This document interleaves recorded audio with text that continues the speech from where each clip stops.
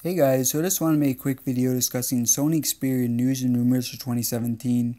So first off, I felt that last year was a pretty good year for Sony, but there's definitely room for improvement this year.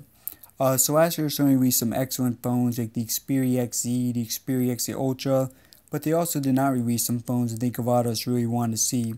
Uh, so that includes a high-end compact phone, a follow-up to the Z5 Compact, uh, they did release the Xperia X Compact, but not the same thing. Really want to see an XZ Compact waterproofing, uh, Snapdragon 820 and all that, but of course we did not get that. Uh, also really want to follow up the Z5 Premium, uh, such as an XZ Premium with 4K screen. Uh, so again, disappointed we did not get those two phones, but one area did excellent with was with providing updates. Uh, so definitely been better than most companies that provide updates, especially second half of the year. Um, so end of 2016, the Xperia X series got Android 7 Nougat. Um, and Sony, they really simplified their UI. They made the updates much more streamlined, much faster. Um, and the Xperia X series was one of the first phone series to get that update. Uh, and beginning this year, 7.1.1 was released for the Xperia concept. So the official final version of 7.1.1 should be released pretty soon for the X series. Now, for uh, those of you who have other phones like the Xperia Z5, uh, Z5 series, for example, uh, according to PTCRB, Android Nougat has been certified for the Xperia Z5 series, Z4 tablet, and the Z3 Plus. So, any of you guys with those phones should be getting Android 7 Nougat pretty soon, hopefully in the next couple weeks. Uh, and then other phones like the XA Ultra were previously confirmed to get Android 7 Nougat, uh, so we should be getting them pretty soon, uh, probably in the next couple months. Now, just looking further ahead in 2017, new devices, and a lot of you guys want to hear about that. Um, so, it's coming from a few sources. UA is the first one. Uh, and according to them, Sony's going to be working on two MediaTek Helio P20 phones.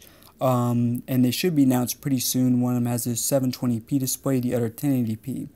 Um, so, of course, the XA and the XA Ultra last year had the MediaTek Helio P10. Um, so since it says the P20, I think these phones will be the XA2 and the XA Ultra 2.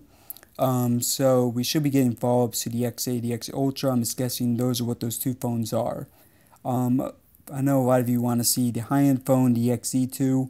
Um, not that many rumors with that. The main one is that it's bezel-less, so uh, it has a bezel-less display. And there's also some kind of sample units, uh, sample pictures floating around you guys can check out. Um, again, not confirmed. It could be any Sony phone, but there are some concept photos if you guys want to see them. Um, and then also another big rumor for the XZ2 is it has a Snapdragon 835. Um, so I think a lot of us expected that, but nonetheless good to see. Um, and then finally, according to ePrice, Sony has no plans to remove the headphone jack.